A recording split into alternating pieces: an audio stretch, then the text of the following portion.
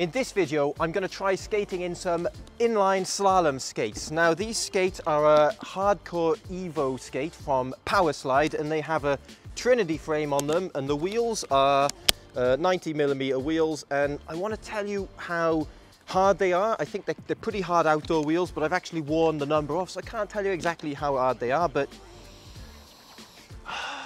a nice new skate smell. A complete different smell to my other skates that you saw me skating on that were wretched. Now these are tri-skates and I've set them with what is known as a heavy rocker. So this wheel is gonna stick out a little bit. It's gonna be lower down than these two, allowing me to have more maneuverability and will hopefully allow me to do a bit of footwork on them. Now I was told that I could heat mold these skates so they will be really comfortable, but I will start by saying, putting my foot directly in them without heat molding in the slightest, they are already the most comfortable skate I've ever put on my feet, ever. All right, so I'm gonna chuck them on and get going and see how they are. We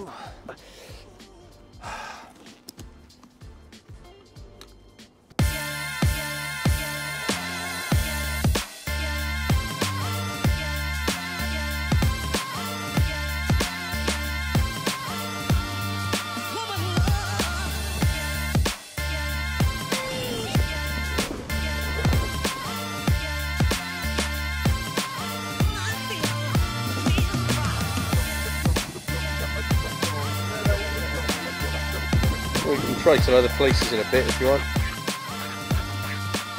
First remark is they're not like figure skates, they're a bit close to hockey skates. So you can go straight off the heel and straight off the back. That's the first thing I noticed. Second thing, these are so lightweight. I feel like I'm wearing basically a pair of sneakers on my feet or trainers if you're in the UK. Now, my off-ice skates and, and uh, figure skating boot combo are really heavy, coming in at over five kilos. These feel very light on my feet and I absolutely love that about them. They're really comfortable. I do feel though that the rocker is in a bit of a different place on the front because I feel like I could very quickly slip off my toe if I'm not careful. That said, the rocker does feel good under my feet. I feel like it will allow me to do plenty of things that I would normally be able to do in my figure skates.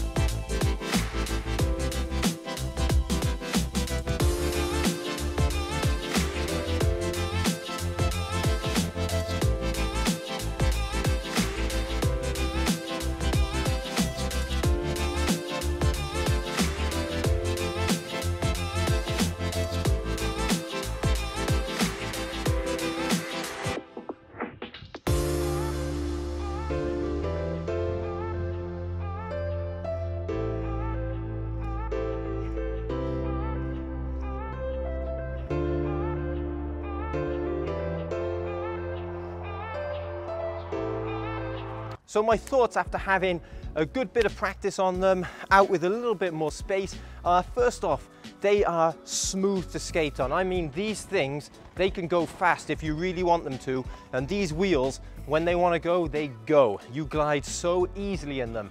It's really a pleasure to skate in, and you can feel everything through this boot very comfortably. So I've managed to do crossovers, three turns mohawks, choctaws, counter rockers. I've done spread eagles outside with straight legs, with bent legs. I've done a lot of things in them. So I think if you're wondering if you can get a pair of regular inline skates, and try and get the job done, practice off ice, I think there's a lot you can do. But the question is, is what can't you do? Well, the things you won't be doing is your toe jumps, any kind of jump that you would normally do in figure skates. I probably wouldn't recommend you trying in these because it's like trying to do them in hockey skates. And I wouldn't necessarily recommend that either. And also spinning. Spinning will be really hard as it is in hockey skates on the ice. But then when you're wearing the any kind of off-ice equivalent, spinning is very, very different to on the ice. So people are always having to relearn their technique so they can spin anyway, which begs the question, if you're doing it to help with figure skating, is it worth going through the effort to learn them because it could potentially change your technique on the ice? Maybe it's better to stick into things that you don't have to change your technique to do. Now, one thing I want to talk about quickly is the wheels. Now, these wheels, they can take an absolute battering. I spent quite a lot of time sliding, doing power slides and power stops. And to be honest, the wheels are still in pretty good condition. If you remember last time, the wheels were melting like butter. Well, these are a good set of very strong outdoor wheels and you really notice the difference with quality. So despite these skates feeling uh, a little bit more like hockey skates, I actually found that when I was skating in them, when I wanted to push quite hard and get a good push, I felt that I was actually gripping the floor better. When I was skating in other skates, I felt like I was slipping off and I was gonna fall a lot. But these feel like they grip the floor better as I, as I skate on them. Now skating in these is not figure skating and it is not off-ice figure skating. It is a little bit different.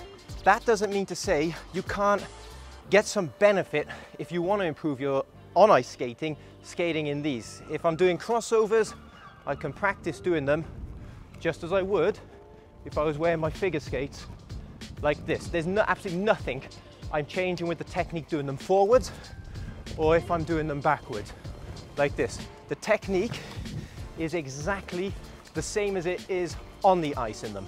So I think that ultimately it comes down to this when wondering, could you buy inline skates that are more like hockey skates or do you have to get the specific figure skating equipment?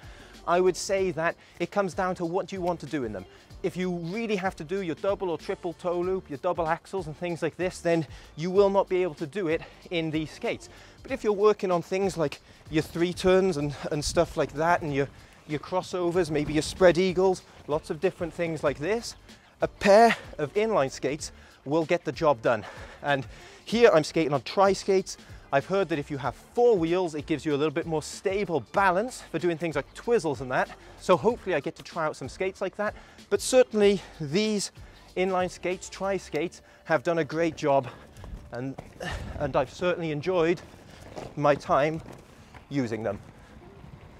So in my next video, I'll be trying out some slalom moves. So until then, if you like this video, smash the like button for me, leave a comment below, let me know what you thought of the video, let me know what you skating, what is your preference, what is your setup for inline skates. And if you like the content I'm producing here, check out my Patreon page. We've got loads of tutorial videos learning all different aspects of, of skating in general. Check it out, there's a growing community there, and I'm sure you'll have a great time.